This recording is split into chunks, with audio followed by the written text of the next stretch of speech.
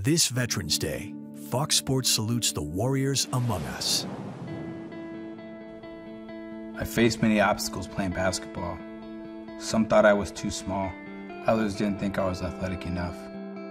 Well, I grew tall and I grew strong, and I became athletic enough. In high school, I played basketball as a way to go to school, but sometimes I clashed with my teammates because I took the game so seriously.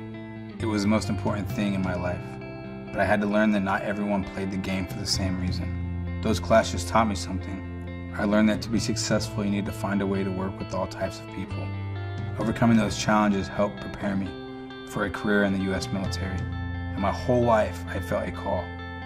On June 25, 2011, I re-enlisted in the Marine Corps. It would be my third and final deployment. My battalion was sent to the Helmand province in Afghanistan with orders to conduct a raid at sunup the next morning. We reached the compound by nightfall and set up security before beginning to rest for the night. I remember looking up at the night sky and thinking about how far I've come.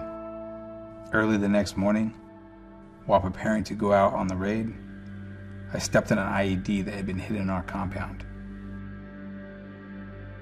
My left leg was blown off above the knee, and my right leg suffered an infection so bad that it had to be amputated along with my right hip and a half of my pelvis. The worst part, I suffered a severe brain injury, leaving me unconscious for two months. The road was long and dark.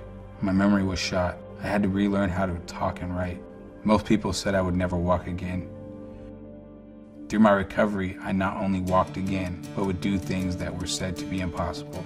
I have surfed competitions in Hawaii, competed in multiple CrossFit contests, completed eight marathons on my hand cycle, and embarked on a 63 day ride across America.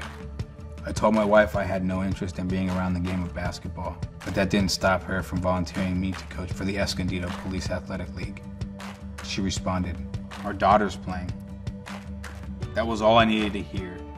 As the first practice approached, I was getting nervous.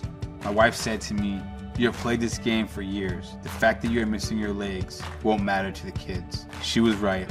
I was just a coach. I overcame any worries in that moment.